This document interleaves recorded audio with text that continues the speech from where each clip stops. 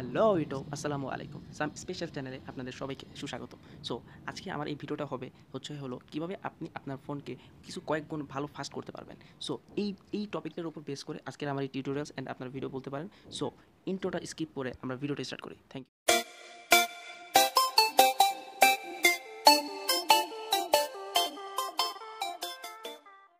again welcome so এখন আমাদেরকে কি করতে হবে?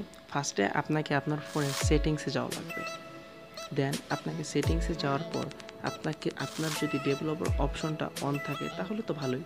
আর যদি আপনার অন না থাকে, তাহলে আপনাকে ফার্স্টে আপনার ফোন অ্যাবাউট ফোনে যাওয়া লাগবে। দেন আপনার অ্যাবাউট ফোনের সফটওয়্যার ইনভেশন ইন ইনফরমেশনে যাওয়া লাগবে। সরি ইনফরমেশনে যাওয়া লাগবে। দেন আপনাকে বিল্ড নাম্বারের উপর তিন থেকে চারবার ক্লিক করতে হবে। দেন আমি ক্লিক করলাম দেখেন আমার নিচে একটা ছোট্ট নোটিফিকেশন আসছে no need developer mode has already been enabled মানে এটা মানে বোঝাচ্ছে যে আমার ডেভেলপার অপশনটা অলরেডি এনাবেল হয়ে আছে। সো আপনাদের যদি না থাকে, আপনারা বিল্ড নাম্বারের উপর তিন থেকে চারবারে ক্লিক করলেই এটা অন হয়ে যাবে। সো আমরা এখন ডেভেলপার অপশনে যাই। ডেভেলপার অপশনে যাওয়ার পর আপনার যদি এটা অফ থাকে, তাহলে আপনি অন করে দিবেন। দেন ওকে করে দিবেন। তারপরে আপনার ডেভেলপার অপশনের একটু নিচের দিকে যাওয়ার লাগবে।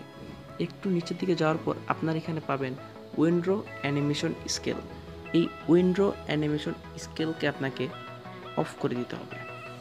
দেন ট্রান্সলেশন অ্যানিমেশন স্কেল এটাকেও আপনাকে অফ করে দেওয়া লাগবে। And last one animator duration scale এটাকেও আপনাকে অফ করে দেওয়া লাগবে। দেন আপনি রিসেন্ট অ্যাপগুলোতে যেয়ে আপনাকে এই সবগুলো রিসেন্ট অ্যাপ ক্লিয়ার করে দেওয়া লাগবে এবং ধীরে ধীরে এইভাবে আপনার ফোনটা ধীরে ধীরে ফাস্ট হয়ে যাবে। আমার ভিডিওটা যদি আপনাদের ভালো লাগে, তাহলে প্লিজ আমার চ্যানেলটা সাবস্ক্রাইব করবেন। আর যদি ভিডিওটা আপনার একটু হেল্পফুল হয়ে থাকে, তাহলে একটা লাইক দিবেন। আপনাদের লাইক করলে আমাদের ইন্সপিরেশন হিসেবে কাজ করে। ধন্যবাদ।